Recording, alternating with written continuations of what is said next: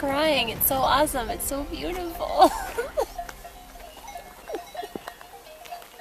Look at the view and the cows and the lake and the flowers.